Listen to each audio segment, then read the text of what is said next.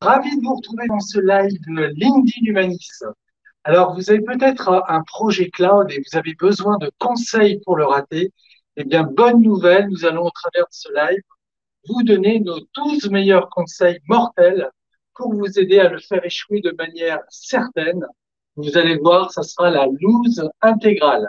Et donc, pour ce faire, nous allons solliciter nos deux meilleurs experts cloud. Ils nous attendent dans l'office. Ce que je vous propose, c'est d'aller les retrouver. Allez, suivez-moi, c'est parti. Et surtout, n'hésitez pas à commenter ce live, à poser des questions. On répondra à toutes vos questions à l'issue des interventions. Tu me suis, Stan Bonjour, euh, bonjour Marc. Bonjour, Cyril. Donc, euh, merci à vous de vous prêter au jeu du live. Donc, euh, pour celles et ceux qui ne vous connaissent pas, donc Marc Manger, directeur technique chez Humanis. Bonjour. Voilà, un expert du cloud. On a même eu l'occasion d'animer un, un, live consacré au métier du cloud hein, il, y a, il y a quelques semaines. Et euh, Olivier Strind, hein, de, je viens de prononcer. Hein. Donc Olivier, toi tu es architecture euh, technique cloud, donc euh, grosse expérience aussi dans le cloud. Alors peut-être avant de, de partager nos, nos, nos, sacrés conseils hein, pour rater un projet cloud, peut-être Marc, ce que je te propose, c'est quand même d'expliquer pourquoi avons-nous décidé de consacrer un live à ce sujet précisément et euh, le, le, le raté, le ratage, je sais comment on dit, de projet cloud. Merci Cyril. Alors, euh, pourquoi est-ce qu'on a décidé de vous parler de ce sujet, comment bien rater son projet cloud? Parce que depuis quelques années, nos clients euh, vont, sont partis ou vont partir sur des sujets cloud et on a vu beaucoup de choses arriver. On a vu surtout ce qu'il ne fallait pas faire. Et euh, comme on a participer à ces projets de plus ou moins près ou loin. Certains, nous les avons rattrapés, certains, nous les avons anticipés. Et puis, pour certains cas, eh bien, euh, on n'a pas pu tout anticiper. On a souhaité faire bénéficier nos auditeurs de, de nos retours d'expérience, en fait. Et puis, on a fait une compilation des principales thématiques qu'il fallait aborder hein, pour euh, rater euh, son projet de bonne manière et de bonne façon. Donc ça veut dire que tous nos conseils sont basés sur des choses que l'on a pu vivre. C'est du vécu en fait. Absolument, Cyril. C'est pas sorti de nos cerveaux malades. Euh, on a simplement collationné, euh, capitalisé un petit peu sur tout ce qu'on avait vu. Et puis on a essayé euh, de, de, de, réfléchir sur la meilleure manière de vous donner les bons conseils afin de bien rater vos projets. Alors bien, je te propose, on va démarrer de suite. Alors tu vas aller au tableau. Hein, il y a un donc, on est dans notre amphi que l'on utilise habituellement pour les formations. Euh, et donc, on va profiter de ce bel écran. Alors, le premier conseil, alors, euh, j'espère qu'il n'est pas aussi flou que, que l'image. Euh, donc, le premier conseil, c'est donc, si vraiment, vraiment vous voulez rater votre projet cloud, le mieux, c'est de partir avec un projet le plus flou possible. Ça évitera les contrastes. Tout à fait, Cyril. La, plupart des projets euh, dont nous parlons, euh, par rapport à cette question un peu, on va dire, un peu sournoise, partir avec un projet flou, c'est le meilleur moyen de rater son projet, puisque nous avons vu des gens qui disaient, je veux du cloud, je veux y aller, et puis j'y vais, sans réfléchir à ce qu'on allait y faire. Le but, c'était simplement d'avoir un projet cloud dans l'entreprise parce que c'est à la mode, parce que ses concurrents sont partis sur le cloud, parce qu'ils ont des bons retours ou pas d'ailleurs. Euh, on voulait faire comme eux. On se dit, on va y aller, on ne sait pas ce qu'on veut y faire, mais on va le faire. Et au final, eh bien, effectivement, vous comprenez bien que euh, on se heurte à des problématiques très néfastes pour l'entreprise parce que d'abord, ça peut coûter très cher, ça peut monopoliser beaucoup de ressources, et puis au final, euh, le ROI, euh, il n'y en a pas. Donc vous avez bien compris que réfléchir avant d'agir, c'est peut-être le bon conseil qu'on va vous donner par rapport à cette question-là. Donc ça veut dire qu'avant de se lancer, il faut vraiment avoir un périmètre très clair, très précis. Il faut savoir ce qu'on veut y faire, il faut euh, canaliser un petit peu ses, ses, ambitions, essayer de définir clairement son projet, se dire exactement ce que l'on en attend, et puis euh, ce que l'on souhaite faire le plus précisément possible avant de se lancer et puis faire n'importe quoi. Bien sûr qu'au départ, on a la tentation de dire j'y vais, puis je verrai bien ce qui va se passer. Le problème, et vous voyez la deuxième partie de la phrase, c'est qu'on a des contraintes à la sortie qu'on ne saura pas gérer parce que l'objectif est flou et le but n'est pas défini. D'accord. Donc ça, c'était ton premier conseil. Eh oui. D'accord. Euh, deuxième conseil pour rater son projet cloud. Alors là, je vois des éléments pulse. Euh, C'était pour illustrer le conseil. Voilà. Surtout, ne découpez pas votre projet, migrez tout d'un coup. C'est un autre, c'est un autre style de projet que nous avons vu. Les gens disaient, j'ai une infrastructure chez moi, je vais tout migrer dans le cloud et puis je verrai bien après euh, ce qui marche et ce qui marche pas. Le retour d'expérience que nous avons avec Olivier euh, en particulier, c'est de voir que ça, ça ne fonctionne pas. En fait, il faut commencer doucement, tout en gardant à l'esprit qu'on va tout migrer. On va commencer doucement par un petit périmètre, on va se faire, on va se roder, on va commencer à mettre en place des bouts de systèmes d'information qui vont commencer à marcher. Bien sûr, au préalable, avant de commencer à migrer des applications, on va commencer par fabriquer le contexte, ce que nous appelons le socle, ou la landing zone, la zone d'atterrissage dans le cloud. On va mettre en place les briques élémentaires, dont tout le reste du SI aura besoin. Et puis ensuite, on va y aller morceau par morceau. Ça veut dire que vouloir tout migrer les projets ensemble, eh bien, ça ne marche pas. Pourquoi? Parce qu'à des instants donnés, il y a des pollutions. D'abord parce que les tuyaux qui nous relient avec le cloud sont assez limités. Si je passe tout en parallèle, au bout d'un moment, il y aura un petit goulot d'étranglement, un petit goulot d'étranglement il y aura un embouteillage que je ne saurais pas gérer. Donc, le projet va capoter. Et qu'est-ce qu'on fait dans ces cas-là? Eh bien là, on a gaspillé un petit peu d'argent, d'efforts, de ressources, et puis on est un petit peu le, le bec dans l'eau, on va dire. Donc, l'idée, c'est de découper le projet en étapes donc, bien sûr, on fabriquait le socle, fabriquait les fondations, et puis vous montez vos immeubles les uns après les autres à l'intérieur, et puis bien sûr, après, euh, vous aurez quelque chose d'un petit peu plus stable, sur des bases solides, et non pas euh, des projets qui se seront pollués, qui se seront mélangés, et au final, un plat de spaghetti. Donc doucement, mais sûrement. Exactement. D'accord.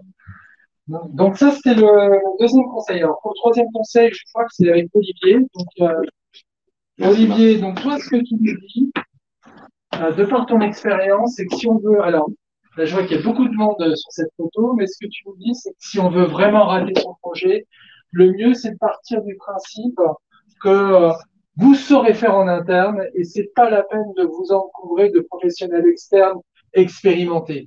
Absolument, Cyril. Alors évidemment, ce conseil peut euh, sembler prêcher pour notre paroisse, parce qu'évidemment, Humanis, on est une ESN, on, on a des équipes, on a près de 3000 consultants, et, donc euh, c'est notre métier.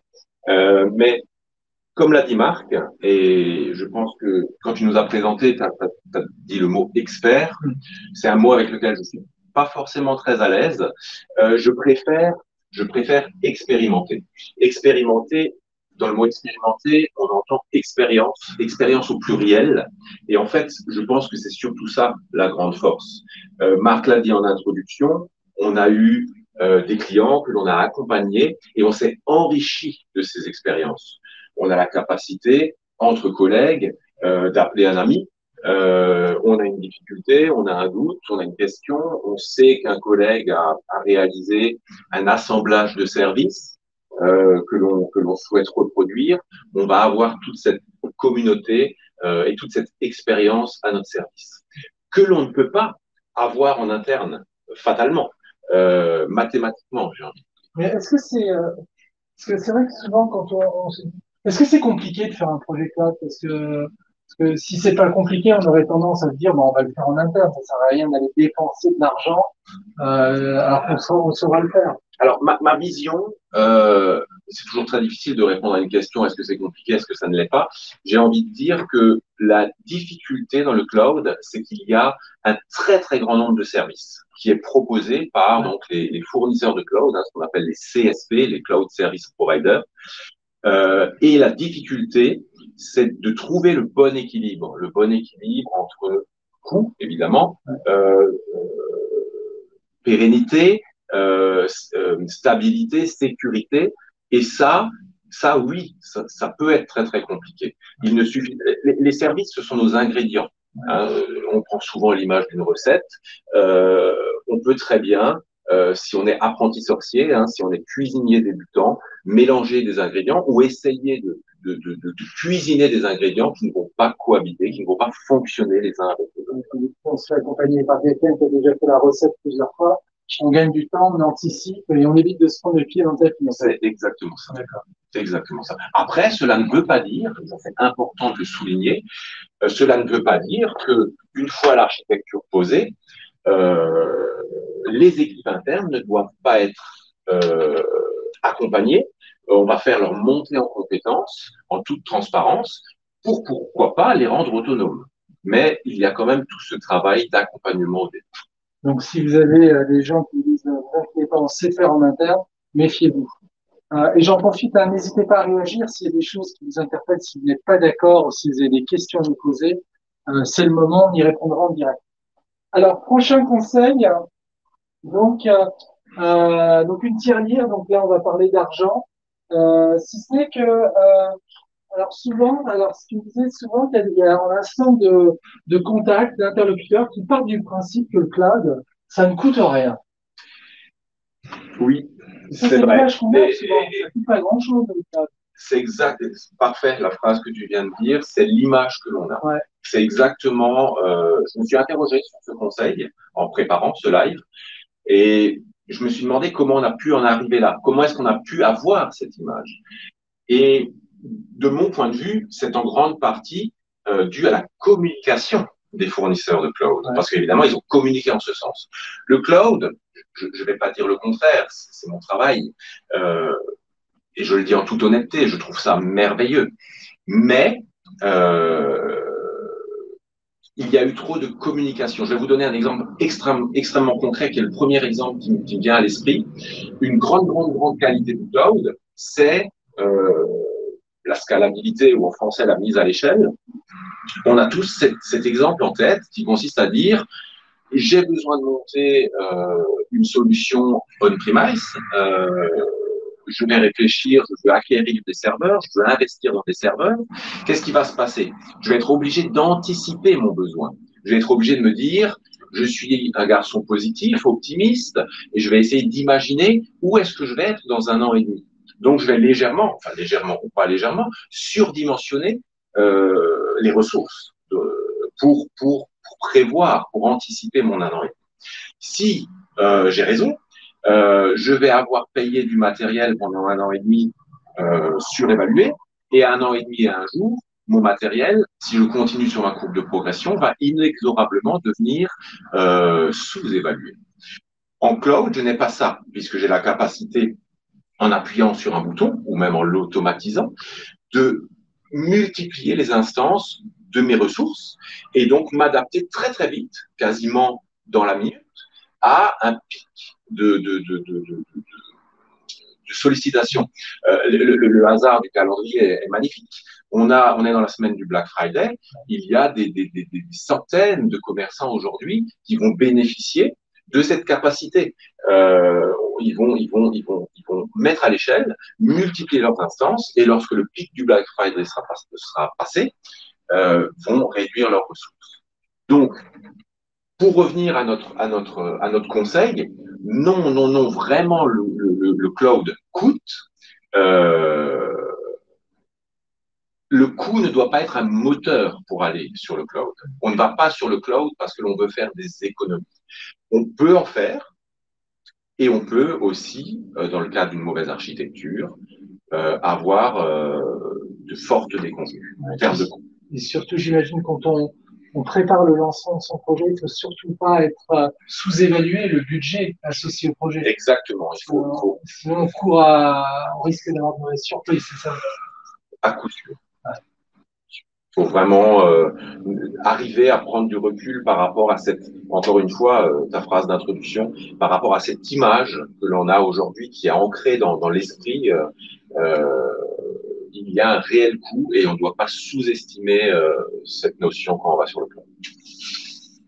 toujours Olivier, alors donc un autre conseil qu'on a illustré avec une côté artiste, peinture, euh, ce que tu nous dis, c'est que pour rater son projet cloud, il faut surtout ne pas chercher à être créatif. C'est-à-dire Alors, il est, il est, c'est peut-être mon préféré, celui-ci. Alors, je, suis, je suis euh, intrinsèquement technique. Euh, j'aime la technique, ma vie c'est la technique, et donc forcément, on, sait que normalement les techniciens ne sont pas les gens les plus créatifs du monde. et pourtant, et pourtant, aujourd'hui on est vraiment on est vraiment dans, dans, une phase où on réfléchit nos projets pour qu'ils soient, on dit métier driven, hein, métier driven, ça veut dire euh, on doit vraiment servir le métier. C'est ça le vrai, c'est le moteur que l'on doit que l'on doit mettre en avant pour le cloud. Et il n'est pas rare de, commencer un projet euh, dans le cloud par des séances de brainstorm où on s'affranchit de toute limite technique, on ne se met pas de frein. Euh, et c'est ce qui va, j'ai envie de dire, tirer la solution vers le haut. C'est vraiment ce qui va nous permettre euh, de, La technique viendra plus tard, nous peut-être dans certains cas nous freiner nos ardeurs, mais en tout cas, on ne doit pas s'interdire d'être créatif. Euh, la, beauté du cloud, c'est que on, on, a des, paradigmes, hein, on, a, on, beaucoup de concepts que l'on n'a pas forcément en premise. Euh, J'ai parlé tout à l'heure de, la mise à l'échelle, mais il y en a d'autres. On a les régions, etc. Il y a, vraiment beaucoup, beaucoup, beaucoup de concepts et beaucoup de services. Et euh, on doit, euh, on doit, on doit les, les, les, solutions créatives, c'est celles qui vont tirer le mieux leur épingle du jeu. Il ne faut surtout pas s'enfermer dans un schéma. Surtout pas. Euh, surtout pas.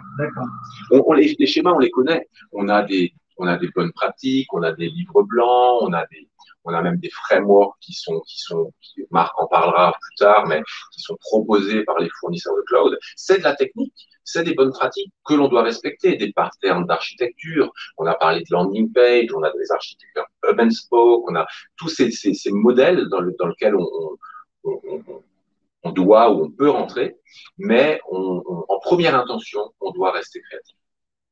Très bien. Euh, autre conseil, alors, je ne sais pas si tu vois, là, il y a, on a essayé d'illustrer, c'est le contrôle C, contrôle V, euh, avec cette idée que bah, le, si vous voulez vraiment rater votre projet cloud, le mieux c'est de partir du principe qu'il faut copier, coller votre architecture on-prem dans le cloud. Oui. Alors là, pour le coup, sur ce non-conseil, euh, je, je, pense que c'est assez probablement celui qui aurait les plus lourdes conséquences. Je pense qu'on peut dire qu'un copier-coller, euh, c'est la cata assurée. Euh, pourquoi? Parce que, je, je l'ai dit un tout petit peu tout à l'heure, on n'est pas du tout sur les mêmes paradigmes. On va, on va vraiment, si on veut exploiter le cloud, si on veut euh, justement que le cloud euh, ne soit pas euh, beaucoup plus cher que le on-premise, on va devoir adapter euh, sa vision. Euh, typiquement, aujourd'hui, on est en train de commencer à parler d'applications cloud natives. Euh, ça, ça, ça, ça, veut dire qu'on va éviter ces grands blocs monolithiques. Hein. Euh, on, va, on, va, on va beaucoup plus s'orienter sur du microservice qui vont communiquer entre eux avec des API, etc. Pour rester très très flexible, très très souple. Et euh, si on fait un simple copier-coller du on-premise dans le cloud, euh, encore une fois, c'est la catastrophe assurée. Euh, de la même façon, je pense, euh, je pense à, à, des, choses comme l'infrastructure as code. Ça veut dire quoi? C'est-à-dire qu'aujourd'hui, on va être capable, ces fameuses ressources que je vais être capable de, de, de provisionner pour mettre à l'échelle, je vais les gérer euh, comme du code, c'est-à-dire que je vais être capable de les versionner, je vais être capable de déployer mon infrastructure euh, avec des pipelines de CI/CD, euh, chose que je saurais théoriquement faire on-prem, mais aujourd'hui, ça n'est pour dans la, dans la plupart des cas, ça n'est pas le cas. Et, et, et, du coup, encore une fois, euh, c'est une très très très mauvaise idée de faire un copier-coller. Très bien, Olivier. Alors, on va poursuivre toujours dans nos bons conseils d'amis avec Marc. Par contre, Marc, j'aimerais que tu viennes me dire ce que vient ah. faire cette photo d'un book. Euh, je me suis demandé. Hein, la présentation. Euh, vous êtes toujours euh, sur le live Humanis consacré au, à nos meilleurs conseils pour rater votre projet cloud. Et le, on est sur le septième. C'est surtout, alors le conseil que tu nous donnes, c'est eh oui. allez-y, foncez tête baissée, ça sera plus rapide. Effectivement, euh, ça va rejoindre un petit peu l'un de mes propos précédents et une partie des propos de pied. Ce que l'on voit, c'est euh, parmi les, les, gens qui vont vers le cloud, c'est aucune réflexion. Je fonce tête baissée et euh, j'essaye d'atteindre quelque chose. Évidemment, comme vous l'aurez euh, deviné, ça marche pas. Donc, effectivement, le côté rapide de foncer tête baissée pour essayer d'atteindre quoi que ce soit, euh, c'est tentant. Effectivement, on se dit on y va et puis euh, on verra bien ce qu'on obtiendra. Ouais. De toute manière, il y en a plein d'autres qui l'ont fait. Euh, on va faire comme eux, on va prendre un modèle, on va essayer de le répliquer, on va y aller, on va faire la même chose. Eh bien, ça ne marche pas. Euh, nos retours d'expérience montrent que malheureusement, c'est pas la meilleure des solutions possibles de foncer tête baissée sans essayer de réfléchir au préalable à ce qu'on veut faire, à ce qu'on souhaite faire, et surtout, euh, tout en amont, essayer de définir ce que l'on en attend. Ça veut dire quoi? Ça veut dire que non seulement un projet cloud, il faut qu'il ait un objectif, mais en plus, il faut qu'il ait un objectif quantifié, il faut qu'on ait euh, pu déterminer euh, ce que l'on en attend en termes de revenus, en termes d'image de marque, en termes de, on va dire, de dépenses, d'investissement. Il faut savoir euh, canaliser un petit peu ses ardeurs et puis pas se lancer sans avoir défini quelque chose de carré, de précis, de net, sans avoir défini des objectifs métiers, voire des retours financiers, des retours sur investissement. C'est vraiment l'essentiel. En fait, le projet cloud, il est là au service de l'entreprise il n'est pas là pour une DSI qui doit se faire plaisir en mettant en place quelque chose de technique, technologique. Il est là pour apporter quelque chose à l'entreprise. S'il n'apporte rien, c'est qu'on a raté et qu'on est tombé dans le panneau de foncer tête baissée. D'accord. D'où le book. Voilà, d'où le book. euh, conseil suivant. Alors, quelqu'un qui euh, travaille à l'aveugle. Donc euh, c'est cette idée que bah, le mieux, hein, c'est vrai que c'est vrai qu'on est souvent tenté de ne pas se fixer d'objectifs parce qu'au moins, on se dit on, va, on ne décevra personne. alors, c'est tentant effectivement de se dire je pars, et je vais me faire plaisir, je vais mettre en place une plateforme cloud, euh, je vais prendre un petit peu tout ce que j'avais comme idée et puis euh, je verrai à la sortie ce que ça me rapporte, ce que ça va me donner, euh, quelle utilité je peux en tirer. Bah, encore une fois, ça ne fonctionne pas, vous avez bien compris, je le disais il y a quelques instants. Euh, fixons d'abord des objectifs clairs, précis, et puis essayons de les atteindre. Normalement, si vous avez un objectif précis, vous aurez des résultats précis. Si vous partez euh, comme ça dans le flou, euh, si vous n'avez pas vraiment d'objectif, si vous ne savez pas ce que vous attendez de la plateforme que vous êtes en train de préparer ou de monter, ou celle que vous, même que vous avez imaginée, mais avec des contours flous, eh bien au final, effectivement, vous serez un déçu parce que la plateforme n'aura aucune utilité, elle ne servira à personne, personne ne va l'adopter. Il n'y aura pas d'utilisateurs métiers qui vont venir rejoindre votre projet cloud. Et puis, euh, ben, finalement, euh, normalement, il y aura des sanctions parce qu'il y aura une grosse dépense d'énergie, de coûts, de temps euh, pour l'entreprise, sans pour autant avoir quelque chose en retour.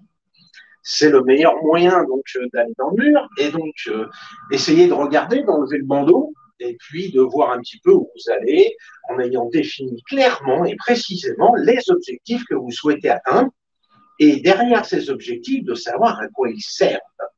Donc, le but, c'est bien évidemment d'avoir quelque chose de carré, de précis, de bien net, de bien défini, et puis de les avoir quantifiés en disant, ben voilà, ce projet, cette partie du projet va amener à tel, euh, on va dire, euh, partie de l'entreprise, donc tel domaine métier, tel silo métier, ça va leur amener euh, des gains de temps, ça va leur amener des gains d'argent, ils vont gagner un peu plus d'argent, ça va leur permettre d'avoir des projets plus courts, ça va leur permettre de délivrer plus rapidement des services aux clients de l'entreprise. Ça, c'est des exemples d'objectifs quantifiés.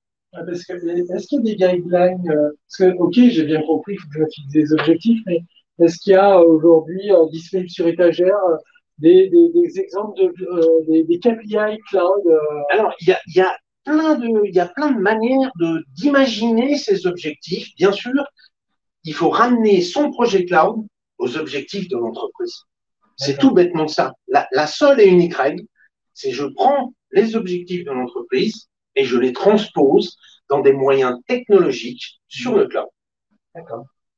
OK. Euh, autre conseil Euh, donc là, le bar est ouvert, hein, c'est euh, l'open bar. Euh, donc c'est l'idée que bah, le conseil, c'est de dire que bah, partez du principe que le cloud c'est cadeau. Donc jouez là, grand seigneur open bar en interne. Alors, je l'aime assez celui-ci.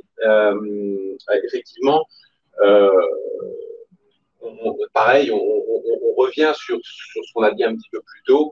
Euh, les, fournisseurs de cloud ont beaucoup, beaucoup communiqué sur le pay as you go, c'est-à-dire euh, payer à l'utilisation.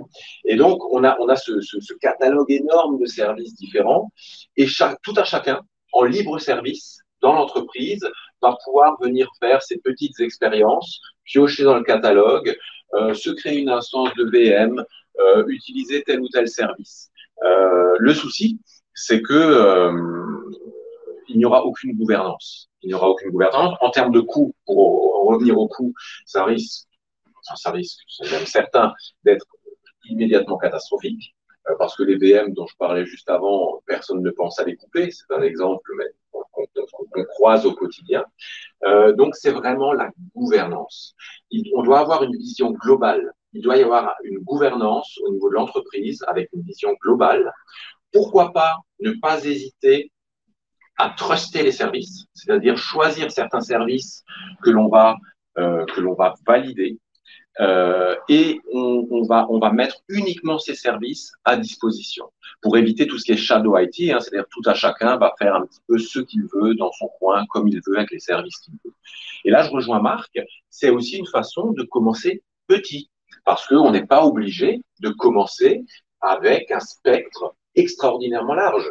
On peut commencer avec 2, 3, 4, 5, 10 services que tout à chacun pourra euh, utiliser sur étagère. Ils auront été trustés, la gouvernance les aura validés et c'est d'après nous la bonne façon de faire. Et là, il y a des, des entreprises qui se sont faites euh, piéger on se retrouve avec euh, un marque que j'ai l'impression oui, oui. Oui.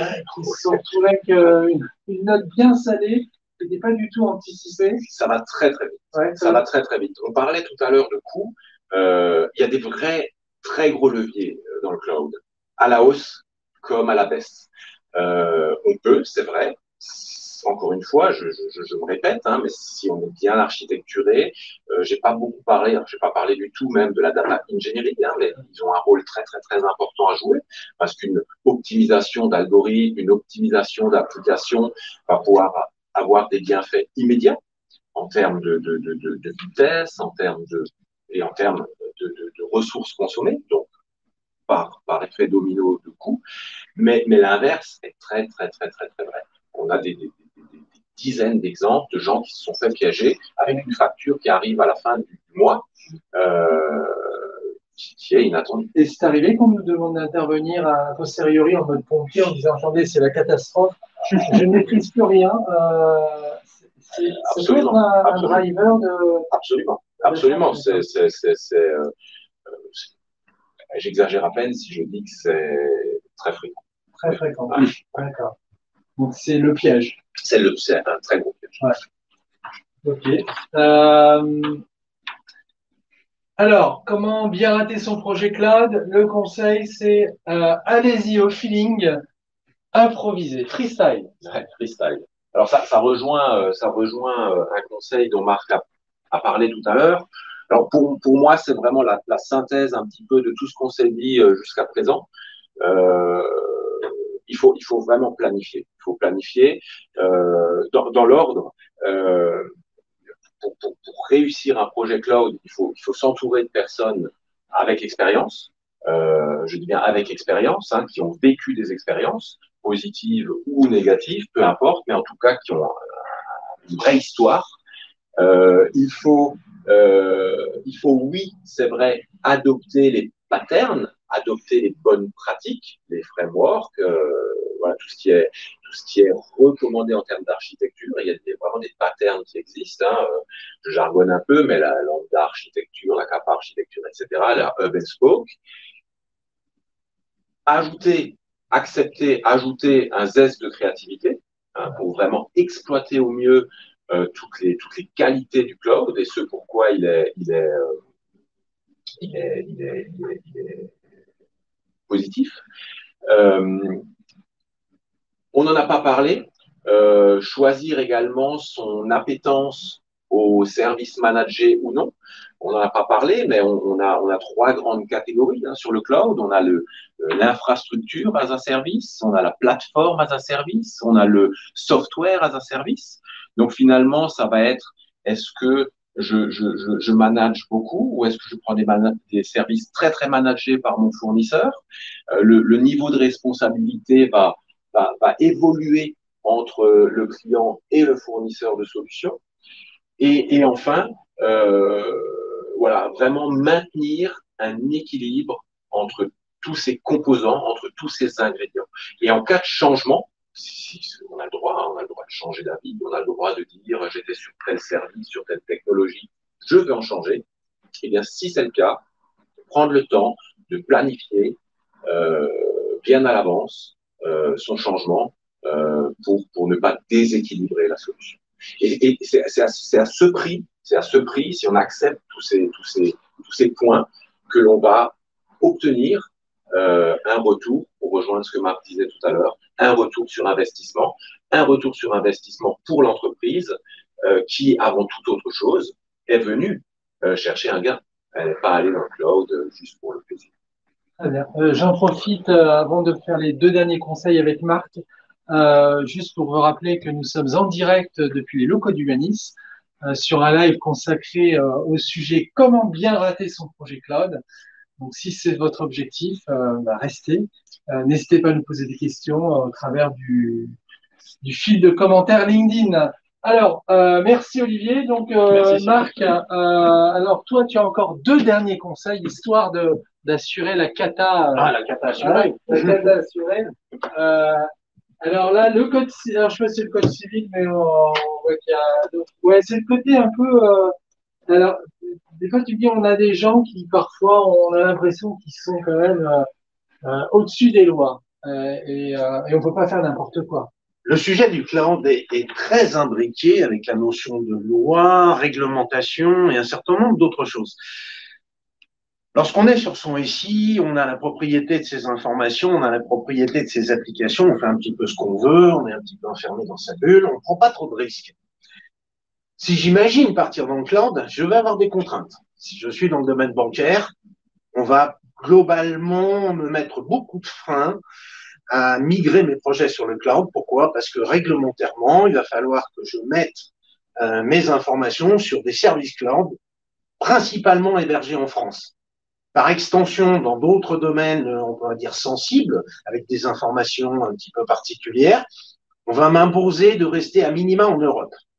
Le problème se pose, c'est que les fournisseurs cloud, ils sont à l'échelle du monde, ils sont hébergés un petit peu partout, et il faut donc que je m'assure de respecter la réglementation en n'allant pas mettre des données et des informations sensibles n'importe où, dans n'importe quelle région du monde, euh, sur lequel je n'aurai pas la capacité de, de verrouiller mes informations et sur lequel je ne pourrai pas interdire à des gouvernements notamment, et là je fais référence à des actes du gouvernement américain, principalement, puisque les fournisseurs cloud sont majoritairement issus euh, des États-Unis. Le Cloud Act, ou euh, le Patriot Act au, sens large, permet euh, à des services de renseignement américains, sur intervention de la loi, d'accéder aux informations disponibles dans tous les hébergements cloud à l'échelle du monde à partir du moment où ils appartiennent à une société de droit américain. Donc ça peut poser des problèmes juridiques, ça peut poser des contraintes. À partir de là, ensuite, on a d'autres problèmes de loi qui peuvent euh, se poser.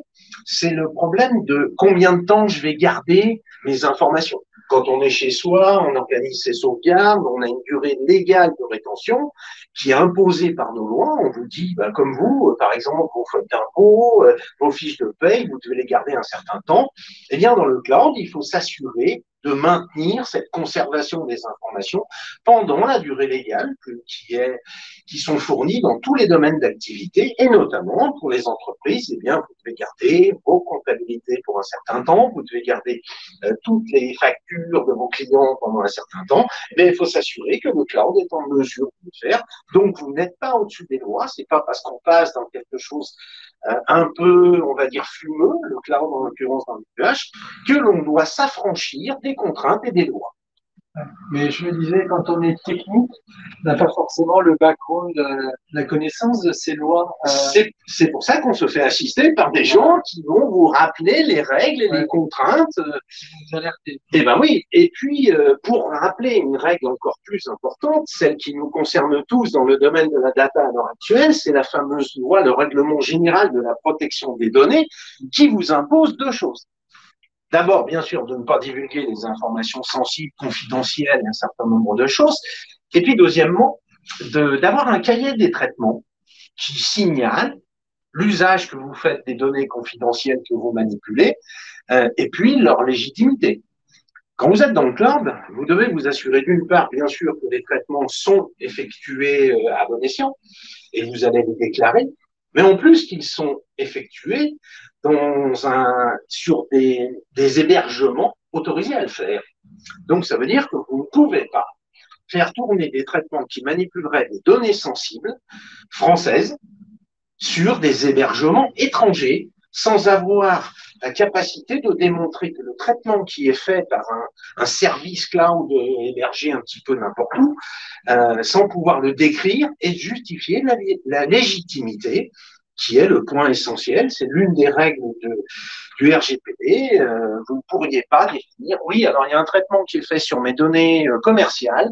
Il est fait là-bas dans le cloud, je ne sais pas bien, mais euh, voilà, je vous le signale. La CNIL pourrait lever la main en disant, monsieur, c'est quoi ce traitement que vous faites effectuer là-bas au bout du monde sur vos données sensibles? Eh bien, non, il faut respecter les règles. Vous n'êtes pas au-dessus des lois et il faut bien. Donc, quand on pense cloud, on pense mondial, faut faire attention à ce qu'on fait et où on met ses services et ses données. C'est sûr que si vous ne respectez pas la loi, ça peut vous coûter très très cher. Très très cher. Euh, RGPD, en cas de manquement avéré, c'est 4% du chiffre d'affaires mondial, euh, c'est des grosses amendes, des, des, peines de prison pour les représentants euh, civils de l'entreprise. c'est un beau projet bien raté. C'est un beau projet bien raté, donc il faut faire très très attention. Et alors, dernier conseil, donc c'est euh, le fait que euh, bah, ne pinaillez pas sur les dépenses. Alors, oui, ça c'est bon pour les ESN. Ah, c'est bon pour les ESN. On va, on, on va un peu se tirer une balle dans le pied dans, avec cette histoire-là. Euh, forcément, euh, on serait, on, on, serait tenté de se dire, oui, effectivement, je vais acheter, je, je vais dépenser sans compter, euh, et j'obtiendrai quelque chose de merveilleux à la sortie. Olivier vous l'a dit, on est intervenu plusieurs fois sur ces notions de dépenses non maîtrisées. Euh, il y a plein de choses à faire dans ce qu'on a des projets cloud. Euh, un nouveau pan d'activité sur les projets cloud, c'est alors pas que sur les projets cloud, mais sur le cloud, c'est indispensable, c'est de mettre en place une méthodologie FinOps qui est en fait une analyse financière. Alors bien sûr de sa migration vers le cloud, on va essayer d'anticiper les coûts de ce que va qui vont être occasionnés par cette migration dans le cloud, mais surtout on va essayer d'estimer les dépenses récurrentes qu'il va y avoir sur euh, les services, l'activation. Comme disait Olivier, c'est très facile pour un métier, euh, lorsqu'on a une plateforme cloud, de cliquer sur un bouton et de s'instancier un projet. La rigueur, ils ne voient même pas les éléments de facturation. Ils ne savent pas qu'en cliquant sur le bouton, ils vont dépenser 4 000 euros par mois. À la fin de l'année, ça fait un petit budget. Si chaque métier fait ça, bah, vous imaginez que ça va exploser. Donc, euh, c'est pas évident. Donc, pour éviter ça, Olivier parlait de gouvernance. C'est évident qu'il faut une gouvernance financière, autrement appelée FinOps, qui va essayer de suivre les coûts de dépenses mensuels, qui va essayer de les anticiper, qui va essayer de mettre des garde-fous, qui va mettre des contraintes. Ça veut dire que tout ne tous, les métiers ou tous les intervenants d'une plateforme cloud ne pourront pas cliquer sur le bouton ou alors, lorsqu'ils cliquent sur le bouton pour instancier quelque chose, pour mettre en place un service, eh bien, ils seront plafonnés dans les ressources utilisées pour essayer de contraindre un petit peu et d'avoir un budget anticipable. Ça veut dire qu'on va essayer de préparer quelque chose. Et puis, alors, le cloud, au niveau financier, ce n'est pas quelque chose de sûr. En fait, vous savez ce que vous avez dépensé au moment où vous recevez la facture. Ouais. On peut estimer un budget, on n'a jamais la certitude de savoir combien on va payer à la fin du mois. Donc, l'idée, c'est que oui, on peut, on peut essayer euh, de laisser un petit peu, comme disait Olivier tout à l'heure, euh, open bar le cloud. Il vaut mieux quand même fixer certaines limites et puis mettre des contraintes aux usagers de cette plateforme cloud pour euh, essayer de fixer un petit peu les règles, établir un petit peu les règles du jeu et plafonner un peu les dépenses. Bien sûr, sinon, bah, vous allez avoir du cloud qui coûte plus cher que votre équivalent chez vous, on-prem. Et l'inconvénient, bah, c'est que vous aurez raté l'un des objectifs du cloud, une des promesses du cloud qui était de faire des économies financières. Euh, en t'écoutant, je me disais, mais, euh, parce que là, l'objectif du live, c'est bien entendu, c'est pas de faire le procès du cloud. Hein. Pas du tout. Le cloud, le cloud c'est, c'est- j'imagine, placé, c'est fantastique. En revanche, il y a même beaucoup de projets cloud qui- qui se plantent. Alors, il y a beaucoup de projets cloud. Alors, on va pas dire qu'ils se plantent totalement. Il y en a qui se plantent totalement. Il y a euh, sur, euh, j'ai des retours d'expérience sur un projet où je veux tout migrer et puis au bout de trois ans, bah, finalement, j'ai pas migré 50% et ça n'a rien donné. C'est un exemple. Hein. Je citerai pas le nom d'entreprise. J'ai des souvenirs comme ça qui me reviennent. Il y a beaucoup de projets qui n'atteignent pas les objectifs qui avaient été fixés au départ. Il y a beaucoup de projets qui n'atteignent pas les objectifs parce qu'il n'y en avait pas. Il y a beaucoup de projets qui dérivent en phase de réalisation parce qu'on était parti, on n'avait pas été assez créatif. On était parti avec une toute petite idée et puis euh, on s'est laissé embarquer euh, par la facilité. Au final, euh, on va dire que les projets cloud qui sont 100% réussis, il y en a très peu. D'accord. Voilà. Il faut le savoir. Mais euh, pour autant, il faut y aller. Alors pour autant, il faut y aller parce que en respectant les règles, on obtient quelque chose et on atteint les promesses du cloud. D'accord. Justement, les règles, on va les voir Voilà. ensemble. C'est une bonne transition. Donc, euh, comment réussir son projet cloud Et ben voilà, vous avez un, un petit exemple de cheminement, voilà, euh, où on vous dit, euh, on vous rappelle, donc, définir une stratégie initiale pour aller sur le cloud. En comprendre les motivations et ce qu'on en attend, évaluer les résultats, euh, notamment opérationnels, donc euh, majoritairement euh, financiers, et définir une justification métier. Ça veut dire quoi? Ben, Ça veut dire simplement que euh, il faut qu'il y ait une raison d'y aller. Je vais reprendre mes propos d'il y a quelques minutes.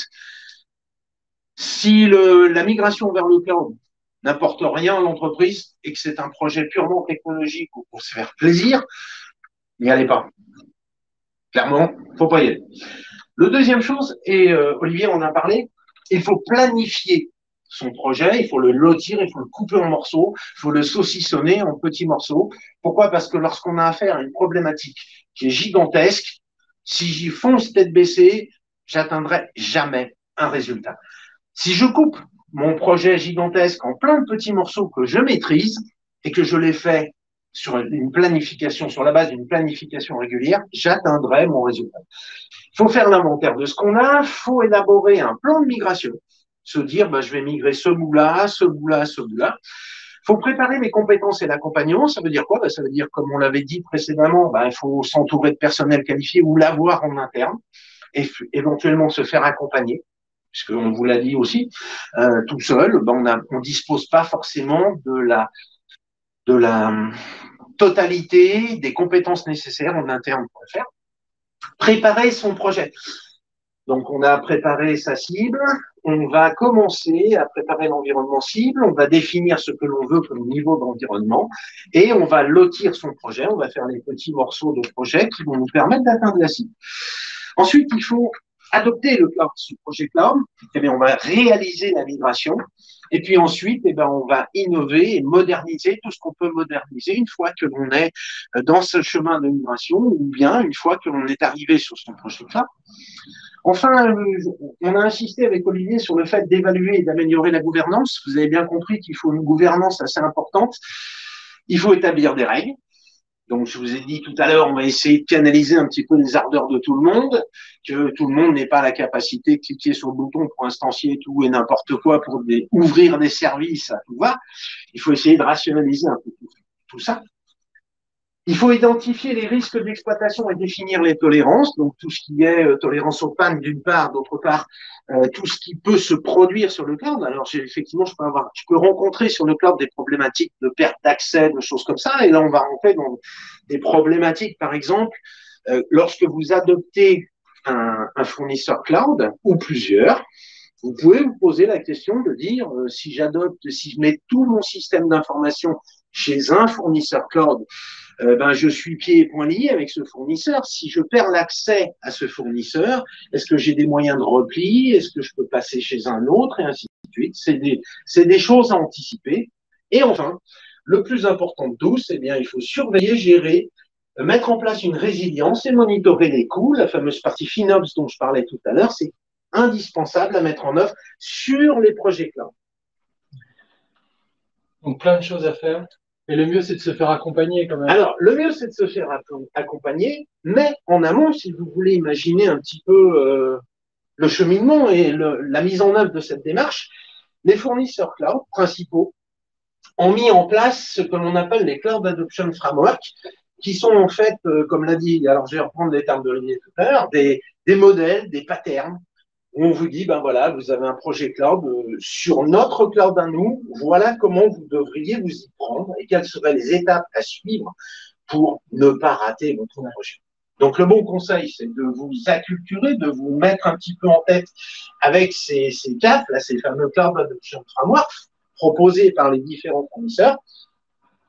Vous les lisez, vous les regardez, vous les réétudiez, et puis vous aurez dans votre tête vous aurez le cheminement nécessaire pour mettre en place euh, ce, cette migration vers le cloud. Très bien. Euh, merci Marc. Alors, je regardais là, il est 11h47. Ben, ça nous laisse euh, une dizaine de minutes pour, euh, pour des questions-réponses. Alors, j'ai des questions. Oui. Alors, vous répondez à, à comme vous le sentez. Hein, euh, tous les deux. Principal, ce en même temps. Alors, ma première question, c'est OK, je dois me lancer j'ai un projet cloud, euh, j'ai bien compris qu'il faut que j'anticipe, mais euh, combien de temps avant il faut que je, je me lance pour euh, réussir ce projet? Eh bien, en fait, combien de temps? Ça va être simple. Ça va être la durée de vous, on va dire, de vous mettre en, tête le petit cheminement dont on vous a parlé à l'instant. Il va falloir réfléchir et anticiper les six points dont on vous a parlé. Et euh, grosso modo, une, une, bonne étude préalable peut varier entre un mois et trois mois. D'accord. Même quelle que soit la taille du projet, puisque là, on ne parle pas de technique, on ne parle pas de briques. Mais disons que la réflexion nécessaire avant de se lancer, mon conseil serait de entre un et trois mois. Voilà. Avant même de commencer. Donc, ce qui peut paraître beaucoup quand on est pressé? Alors, ben, oui, mais euh, qu'est-ce que vous préférez? Vous lancer tête baissée et puis euh, cramer plusieurs millions d'euros? Ou alors réfléchir entre un et trois mois et finalement avoir un projet qui va se dérouler sereinement, qui sera probablement beaucoup plus court que si vous étiez parti euh, un petit peu n'importe comment. D'accord. Euh, Marc est de bonne humeur aujourd'hui. Euh, il, il m'aurait posé la question, j'aurais dit entre 3 et 6. D'accord. Ouais, non, mais il y a, y a, une durée minimum. Hein. Force, ah oui, c'est pas plug and play. Hein. Ah, disons qu'il faut réfléchir. voilà. D'accord faut anticiper toutes les questions dont on vient euh, de parler. Euh, autre question, à quel moment dois-je impliquer euh, les équipes techniques de mon entreprise? Alors les équipes techniques elles n'interviennent pas au début. Elles n'interviennent pas au début puisqu'au début, vous avez compris, les, les éléments stratégiques, c'est euh, c'est plutôt, on va dire, euh, des services transverses de l'entreprise qui vont commencer à réfléchir. Ensuite, il va y avoir les services métiers on va, les impliquer pour leur, on va les onboarder, on va les ramener dans le, projet pour leur demander, bah, t'as besoin de quoi? Euh, qu'est-ce que tu veux faire? Euh, si on propose une nouvelle plateforme, quels sont les services que tu veux? Et puis, au moment où on va commencer à, parler euh, de la sélection des composants, de la sélection des, éléments techniques, des régions dans lesquelles on va intervenir, là, on va intégrer les équipes techniques. Mais elles n'interviennent pas au début. Ça paraît paradoxal pour un projet informatique que les équipes informatiques ne soient pas euh, impliquées dans le projet tout en amont. D'accord. Mais alors, au final, un projet cloud, c'est un projet métier ou un projet technique? Métier. Ouais, c'est métier, métier. On est de plus en plus, euh, on observe ce, ce, ce alors je ne le dis pas péjorativement hein, quand je dis ce, ce, ce mouvement, hein, cette prise de conscience. En réalité, c'est une prise de conscience. Euh, le, le, le, le, projet doit être avant tout métier driven. C'est vrai qu'on a beaucoup de buzzwords dans ce dans ce dans ce dans, ce, dans cet univers du, cloud, de la data, etc.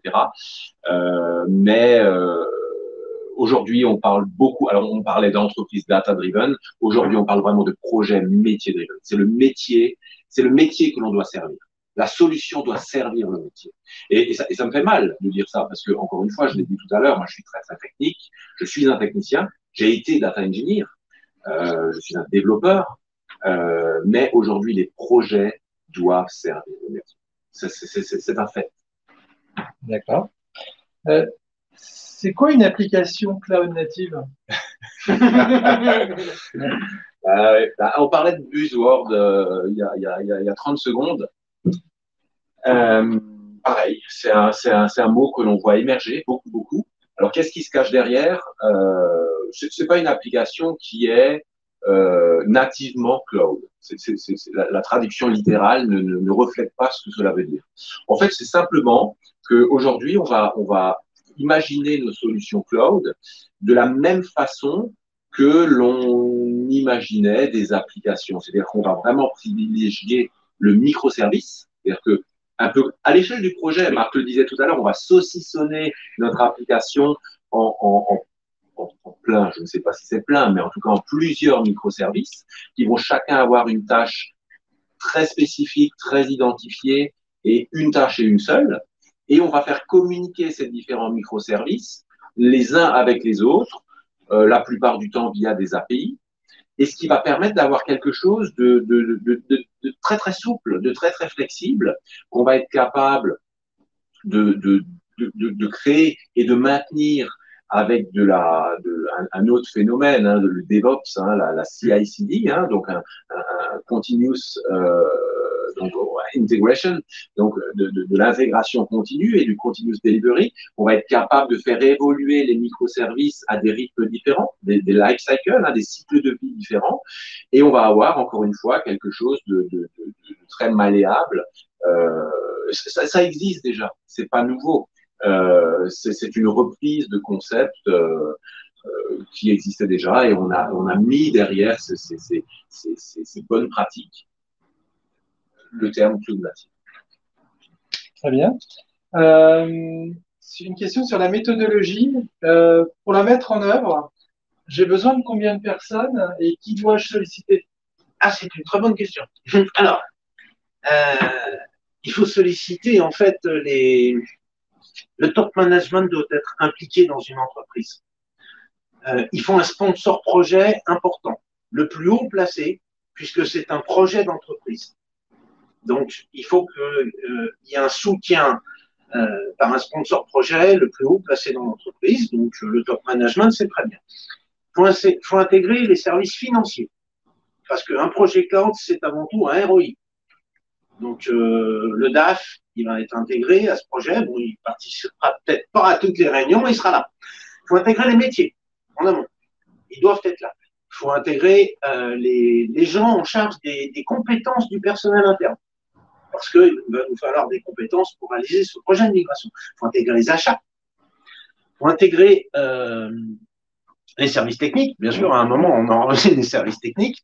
Et puis, euh, une grande partie, on va dire, de la communication, puisqu'on a une partie euh, acculturation de l'entreprise à ce projet cloud, il va falloir vendre ce projet aux utilisateurs métiers pour qu'ils viennent sur la plateforme pour utiliser les services qu'on leur met à disposition. Donc, vous voyez que ça, c'est assez transverse. Ça met en œuvre quasiment tous les, tous les différents métiers de l'entreprise ou tous les différents services de l'entreprise. Il faut intégrer un, une, une, une ESN ou un intégrateur. Alors, effectivement, nous, en tant que ESN, nous serons qu'un moyen euh, de, de, guider un petit peu nos clients et nos, nos, nos, nos partenaires dans la mise en œuvre, mais euh, bien sûr, il y aura euh, majoritairement quasiment tous les métiers d'entreprise, puisque tout le monde sera impacté un jour ou l'autre. Et à l'intérieur des, différentes, euh, des différents métiers d'entreprise, quasiment tout le monde interviendra sur ce projet. Et peut-être pour celles et ceux qui connaissent pas Humanis, Humanis dans le cloud, qu'est-ce que vous avez envie de leur dire? On est les meilleurs? Non, de nombreuses références. Alors oui, on a de nombreuses références. On a effectivement beaucoup de collaborateurs dédiés aux activités cloud, euh, dédiés au développement d'applicatifs sur le cloud. On a euh, des services qui s'occupent plutôt plutôt, donc on a certains de nos collègues qui sont spécialisés dans l'analyse des coûts, tous les aspects FinOps dont je parlais tout à l'heure. On a des gens qui sont très techniques, donc pas d'instancier, de cliquer sur les, sur les, sur les bons boutons à l'intérieur des interfaces des fournisseurs cloud pour mettre en œuvre cette infrastructure. On a des architectes qui vont permettre de structurer cette solution. On a des chefs de projet, des directeurs de projet capables de lotir et de saucissonner un petit peu le projet en différents éléments. En fait, on a toute la structure nécessaire pour assister euh, nos clients et nos partenaires dans la réalisation de ces projets. Et dernière question, euh, est-ce qu'on recrute alors actuellement? Parce qu'on est sur LinkedIn, donc euh, il y a potentiellement peut-être des profils très intéressants pour alors, je, Olivier et moi, alors, vous avez de la chance parce que tous les deux, on participe. On a une grosse activité de recrutement et on passe, on va dire, beaucoup de temps à effectuer des entretiens professionnels dans, dans, dans, ces étapes de recrutement. On participe après nos, nos, conseillers en ressources humaines euh, qui ont les premiers entretiens avec les candidats. Euh, nous les recevons, soit Olivier, soit moi-même. En entretien, donc bien sûr, pour l'instant, on les fait plutôt à distance, mais euh, il n'est pas exclu que ce soit fait en présentiel. On passe beaucoup de temps au recrutement et on cherche, comme dans un live précédent que nous avions fait ensemble, Cyril, de nombreux profils très différents, depuis euh, des, des, des, experts cloud, des consultants plus ou moins experts, plus ou moins juniors, plus ou moins confirmés, jusqu'à des architectes data spécialisés cloud, ou bien des architectes cloud, ou bien des chefs de projet cloud, ou bien des directeurs de projet cloud, ou bien des consultants sécurité cloud, ce qui est un aspect qu'on n'a pas évoqué aujourd'hui, mais il y a aussi ça. Euh, des consultants aussi sur euh, la conformité, le GDPR, adapté au cloud, bien sûr. Euh, des mises en place de, de, de, différentes et puis des experts solutions euh, sur les différentes sur les différents composants qu'on peut trouver chez nos partenaires éditeurs cloud. Ouais, et je vous invite à je vous invite à ce titre à regarder sur la page YouTube Humanis. On avait fait un live consacré au métier du cloud. Donc euh, voilà, c'est avec Marc qu'on avait fait ça. Et, si vous êtes intéressé, si vous souhaitez euh, en savoir plus sur Humanis, ça peut être intéressant d'aller aussi regarder ce live. Euh, bah, Marc, Olivier, euh, je vois il est euh, il est 11h58, euh, donc euh, Je, tenais à vous remercier euh, pour votre participation au live. J'ai pris beaucoup de plaisir à, être avec vous. je profite aussi pour remercier bah, tous nos internautes. Hein. J'espère que ce live vous aura apporté des réponses à, à, cette question qui est comment rater son projet cloud. Donc, je vous souhaite euh, de beaux échanges, hein, bien sûr. Euh, et sinon, plus sérieusement, euh, je vous invite à le 7 décembre, on fait un prochain live consacré à notre centre de service de Tours. On a un très très grand centre de service à Tours. Et là, on va vous faire visiter comme si vous y étiez. Donc, j'irai à la rencontre de nos collaborateurs pour qu'ils nous expliquent un peu ce qu'ils apprécient dans leur travail, ce qu'ils font, euh, euh, voilà, qu'ils nous fassent découvrir de l'intérieur l'entreprise. Voilà. En attendant, ben, je vous souhaite une bonne continuation de beaux projets cloud, hein, bien réussis. Bien euh, N'hésitez pas à nous solliciter, on est là pour, là, pour ça. Et, et encore merci. À bientôt. Merci, merci beaucoup.